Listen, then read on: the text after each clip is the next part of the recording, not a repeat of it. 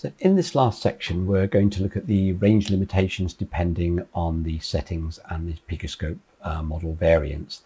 So the vertical range is the first thing we're going to look at. I'm going to look at it from a times one and times 10 probe perspective. So if we go into our um, Picoscope here, what we've got is uh, one kilohertz coming in, one volt peak to peak as normal with a zero offset. So here we have our signal here.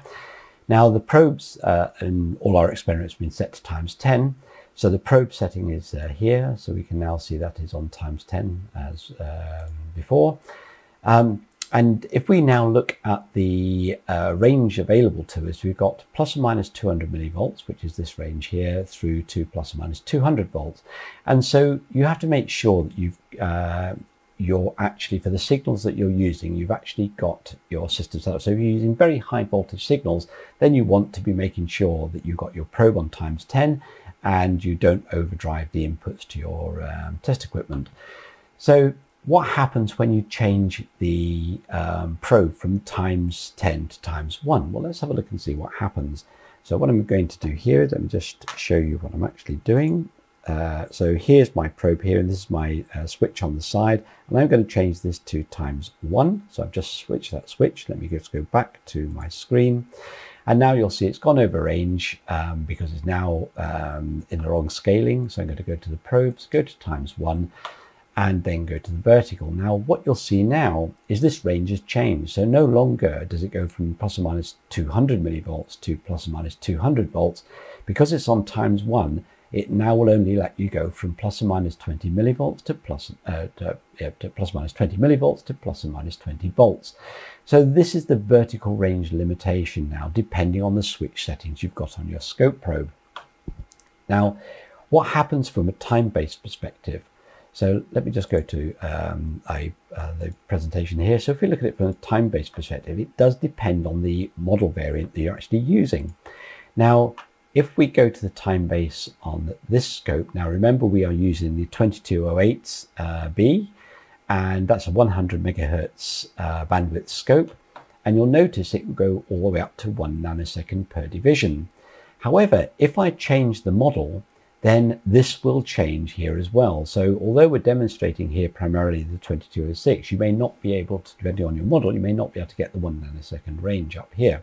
So let's see what happens when you change our scope. So what I'm going to do is shut this, um, uh, the Picoscope software down. So I'm going to close that.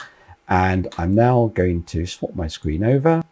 And here's my uh, original 2208B. Uh, and what I'm going to now do is put the 2204 in, which is this one here. And this is the one my students use at university. I'm now going to swap this over and go to the app and open up the app. Now, because I swapped the scope over, the Picoscope, when the software starts up, does actually find out what the device is. Once it starts up, you'll see it will eventually find the device, the correct device, and there it goes, 2204A. It's found that and it's set this up. And now, when we open all up, all the defaults, uh, remember the um, when it starts up, the defaults are for uh, scope probes as times one and all that kind of stuff. So you've got to reset all of this if, you, if you're changing your model. But what's more important in this particular exercise is looking at the time base. And if we look at the time base now, you'll see that this time base now only goes up to 100 nanoseconds per division. Now this scope, the 2204A, is actually only a 10 megahertz bandwidth scope. So it doesn't need to be, it can't go up into this higher um, uh, higher uh, frequencies. And uh, so it's limited at this 100 nanoseconds per division. And so depending on the model you get, you get these limitations for it.